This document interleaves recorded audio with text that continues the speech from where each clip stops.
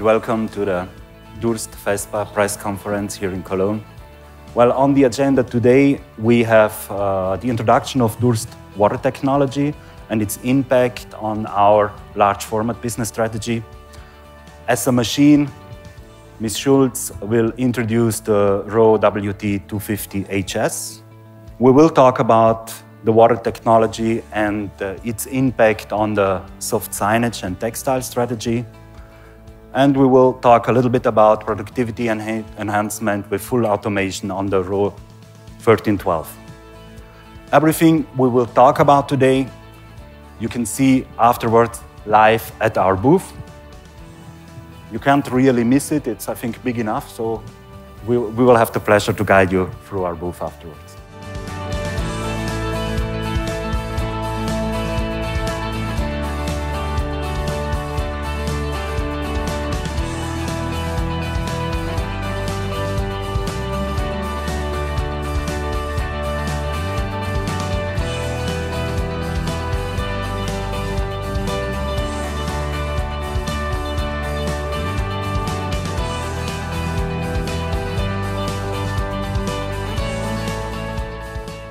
As our CEO, Mr. Gamper, um, has just pointed out, our solution is water-based, and we will start out on the product side with the Rho WT 250HS. We feel that we're introducing here the future standard in wide format inkjet printing, something that will take us into the next decades most likely. We've been around for 15 years and we have largely substituted screen printing. With this technology, we will be in a position, I'm not saying to substitute, but we will definitely have a big impact uh, in the offset market with this new technology. You will see the samples at the booth. The quality is really outstanding.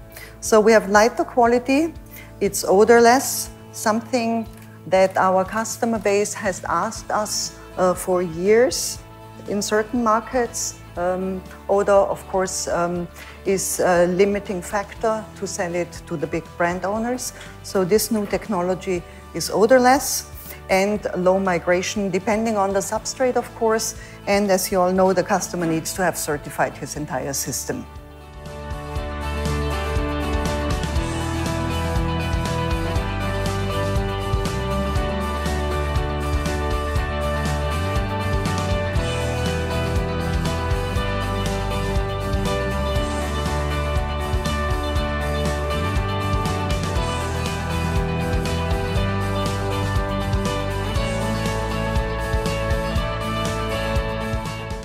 On behalf of, of the Ebru artist, Asuman Hasırcıoğlu, and her team, I would like to thank you, Mr. Gamper, for the invitation. Ebru painting is an art and technique of painting on water. Each work is unique. Moreover, this art is also an expression for the global world that is increasingly converging and finding to each other, just like the colors which converge during Ebru and produce something unique. Water provides many messages, and it seems, says Dr. Masaru Emoto, in the message of water, that we still have a lot to learn from it.